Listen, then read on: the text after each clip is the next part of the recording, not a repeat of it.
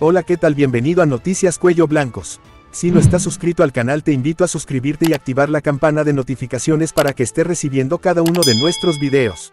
Información de último minuto, hombre se quita la vida tras ultimar a su pareja en San Francisco de Macorís. Un hombre se quitó la vida tras ultimar a su pareja en horas de la noche de este jueves en el municipio Castillo, provincia San Francisco de Macorís. La fémina fue identificada solo como María, mientras que el agresor fue identificado como Nicolás. Según versiones, al momento del hecho la Oxisa tenía en brazos una niña de nueve meses la cual resultó ilesa. Mientras que por otro lado, apresan mujer por el homicidio de su pareja sentimental en San Cristóbal.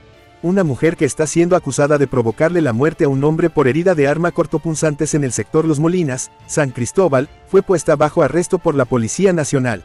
Se trata de Suneiri Polanco García, alias La Rubia, quien presenta hematoma en brazo izquierdo de hace tres días y trauma severo en brazo derecho. Polanco García la señalan como responsable de la muerte de Franklin Eduardo Benzalmonte, alias Popo, de 32 años, quien sufrió herida en región dorsolumbar izquierda, trauma penetrante shock hipovolémico IV. La detenida dijo a las autoridades que el arma utilizada para cometer el hecho fue un cuchillo de sierra de cortar pan, con el cual hirió al joven durante una fuerte discusión que sostuvieron porque el hoyo oxiso llegó a la casa y cargó a la niña que tienen en común, con olor alcohol.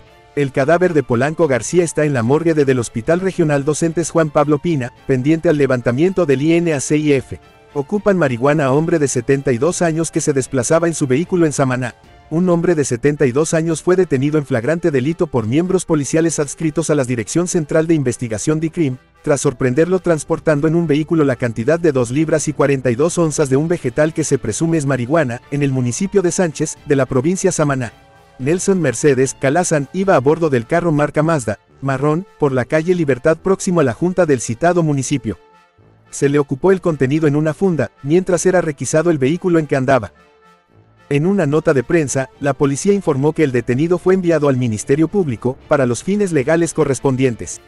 Por el momento es toda la información que tenemos gracias por sintonizar Noticias Cuello Blancos.